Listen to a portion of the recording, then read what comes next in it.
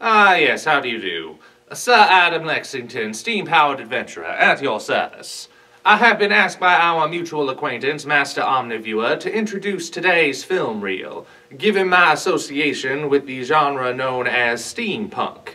Even though Master Omniviewer considers himself an aficionado more of the strange creatures that surround me, he does have a soft spot for this genre, although, for me specifically, I would consider it more a way of living. But we cannot all be perfect now, can we? The Omniviewer has read quite a few pieces of steampunk literature and wishes to share with you what he considers to be the strangest of them all. In his own words, if your only familiarity with steampunk is airships, corsets, and gears, then you have no idea just how bizarre it can get. So, he is offering you five different examples. This is the part where his voiceover is supposed to take over, but, uh... What? Apparently I need to tell some sort of sign off or... Very well. Please enjoy the list of the five strangest works of steampunk fiction as far as Master Omniviewer has read.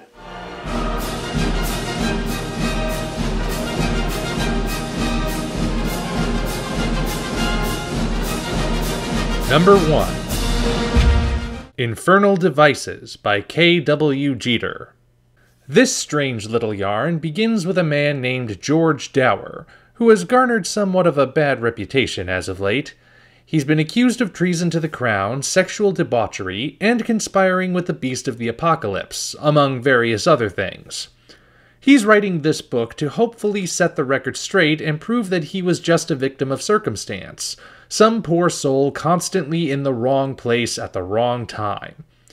What follows is a wild journey across Europe in which George encounters religious zealots, devious suffragists, a pair of anachronism spewing con artists, his superior mechanical double, and a doomsday cult with a device designed to literally smash the world to pieces.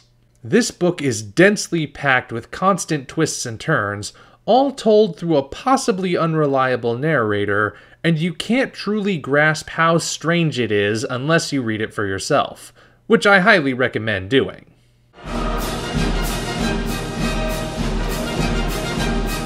Number 2 The Lotus Wars Trilogy by Jay Kristoff. Here we go with some Japanese flavored steampunk.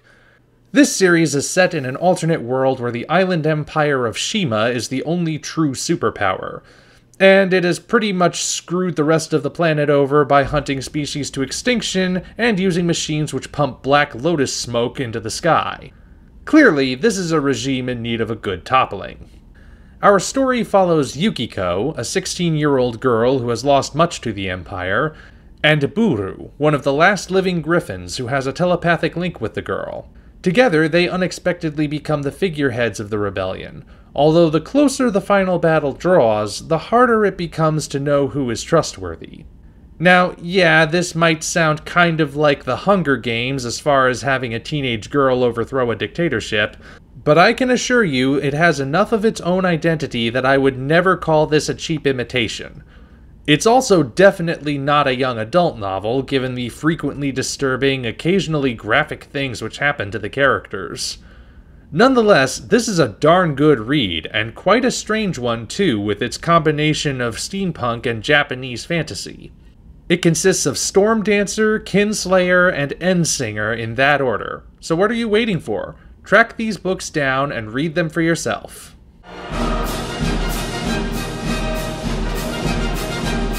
Number 3 The League of Extraordinary Gentlemen by Alan Moore and Kevin O'Neill. I'm kind of breaking my pattern here since this one is a graphic novel rather than a prose novel, but it's so steeped in literature that I have to include it. The League is a Victorian era superhero team comprised of literary figures. Specifically, Mina Murray from Dracula, Allan Quatermain from King Solomon's Mines, Captain Nemo from 20,000 Leagues Under the Sea, The Invisible Man, and Dr. Jekyll and Mr. Hyde, the last two hailing from the books which bear their respective names. They are hired to protect the British Empire from unusual threats, be they warlords like Fu Manchu or the Martians from War of the Worlds. If you've only seen the movie, well, the movie isn't as bad as most people say, but it doesn't get half as crazy as the comic. Packed with bizarre imagery, unusual bonus material, and so many literary in jokes per page that entire books have been written just to keep track of them all, this comic is something which must be experienced to truly be believed.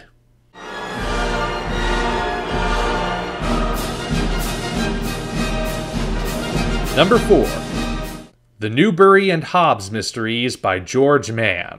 Set in an alternate timeline where Queen Victoria has been kept alive by artificial means into the early 20th century, this ongoing series of books follows a pair of special investigators for the Crown, Sir Maurice Newbury and Miss Veronica Hobbes. From there, things get weird. Part of what makes these novels so unusual is just how much stuff is crammed into each one, and how all of these different elements always manage to fit together. For example, the first book of the series, The Affinity Bridge, has a crashed airship, malfunctioning automatons, occult mysticism, psychic visions of the future, and, I kid you not, a zombie plague. The whole time I was reading, I thought there was no way man could possibly make all of these disparate elements fit together into a single cohesive story, and yet he pulled it off. Though to tell you how would spoil the whole thing. Also worth noting is Mann's Ghost Novels, a superhero series set in the future of the same universe, though it's not officially on this list because it's more accurately described as diesel punk rather than steampunk. Still, if you're up for a different kind of mystery series, the Newbury and Hobbes mysteries should be right up your alley.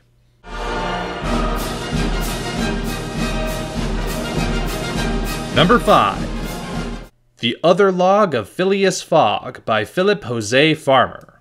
So I'm guessing you're familiar with Jules Verne's book Around the World in 80 Days. As far as Verne's bibliography goes, it's one of his more grounded stories, containing no futuristic submarines or subterranean seas with battling monsters. It's also riddled with plot holes, large unresolved gaps of time, and just plain anomalous head scratchers. Enter Philip Jose Farmer and the other log of Phileas Fogg.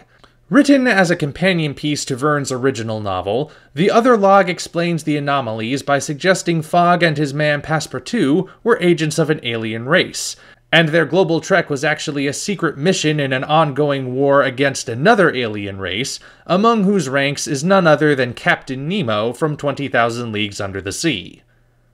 Oh, and the book also purports to be actual history, not fiction. It's a good introduction to a much larger universe concocted by Farmer.